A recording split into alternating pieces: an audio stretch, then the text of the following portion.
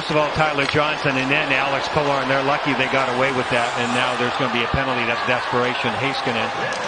Johnson's just trying to work Twice. his way towards that empty net here.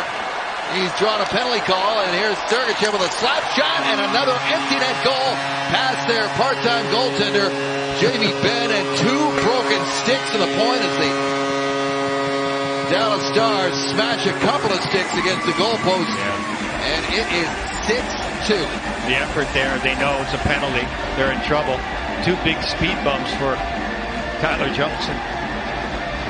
And then Sergachev is going to be like, all right, Jamie Benn, you really want to block this one?